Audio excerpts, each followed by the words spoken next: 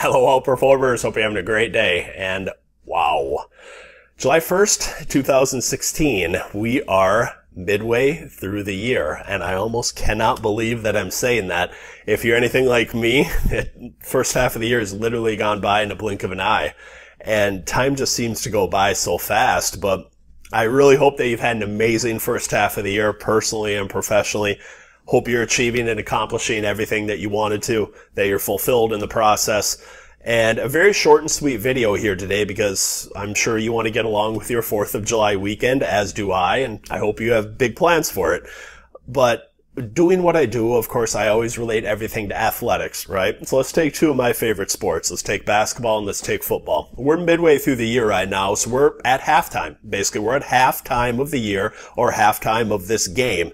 And you show me any great athlete or any great team, and I will show you someone that is better in the second half than they were in the first half. And why? Because they make adjustments. And you look at how probably going into this year, I'm guessing you had some type of game plan for how you wanted to execute your year, let's say personally and professionally, goals and whatnot, things you wanted to achieve and accomplish.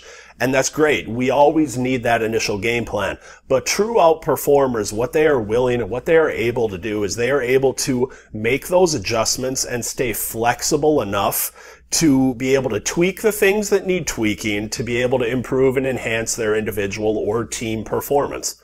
And that's ultimately what they do. And I think this is a fantastic time. You know, by all means, go away, have a great 4th of July weekend. But when you come back to kind of the grind and you come back to thinking about your second half of the year, your second half of the game, trust me, I'll be recording another video just like this in January and it'll feel like another blink of an eye where we've gone from July in the next six months going to January because again, time is just going to continue to go by so fast and you can miss it if you don't kind of stop and think about and make those tweaks when necessary. So three very simple questions to ask. And the best way that you can possibly do this to simplify it is take a piece of paper and chop it into three categories. Just literally make lines on the piece of paper and ask yourself three basic questions. What am I going to stop?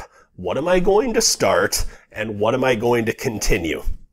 It's really very simple. A lot of times people will kind of start with the start part of it where they'll say, well, I, I, know that maybe I should start exercising more. I should start doing these different kind of business activities or I know that I should be eating better and these things that take a certain amount of time and energy, let's say, and they don't always start out with the stop part of it is you look at it and you say, you know what? Where am I using my time and energy that's not really providing either any inherent value in my life, uh, or is ultimately just kind of wasting and draining my time and energy? That's the stop part of it. And to think about that, like, I'm not, I'm going to stop watching Keeping Up with the Kardashians, like, because Khloe and Kim and Kourtney, they just don't add any inherent value to my life. you can tell that that's just an example. I don't actually watch Keeping Up with the Kardashians because I obviously could barely name three of them. But to think about it, and if, and if you do love Keeping Up with the Kardashians, by all means, continue to watch it if it does add inherent value to your life. But to think about it, what you want to stop, and we all have these different things where if you're willing to take the time and to really kind of step back and to look at it and to say, you know, know what?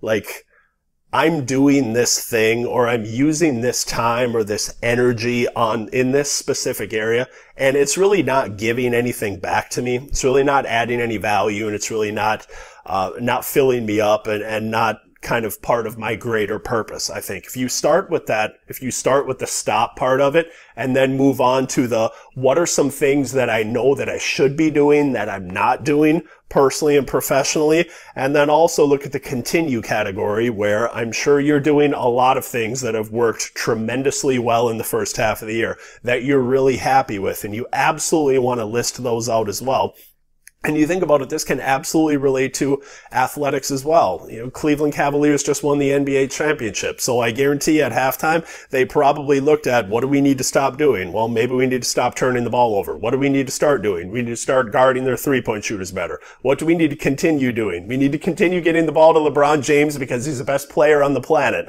Like you can look at this in any area, athletics or just in general life, but to be able to get really crystal clear on some of these things, and it doesn't have to be a lot, believe it or not, maybe it, and I would actually encourage you to keep it really simple. Like as far as things that you'll stop and things that you'll start, you look at how we actually form behaviors and habits as humans. I would really recommend keeping it to literally one or two things that you are going to stop and one or two things that you are going to start. And then you can list a few more as the continues because you're already doing those and they're probably already patterns of behavior. But if you start listing out too many things that you're going to stop and start, now all of a sudden you're, you're sort of the person with 10 different New Year's resolutions and by February 1st, you end up not really doing anything that well. So just really think about what could I stop? What could I start that's really going to enhance my life personally or professionally and then give your 100% undivided attention to those things. If you just ask yourself those simple questions, stop, start, continue, I guarantee you're going to make those adjustments. You're going to be flexible. You are going to be someone that finishes the game stronger than you started the game. And I just know you're going to make the most out of 2016. So I wish you a blessed and a safe and a healthy and a happy and high performing holiday weekend. Oh, that was a lot to say. and I really hope that you have a great one. Thanks a lot for being here, watching this video, and I will catch up with you next time.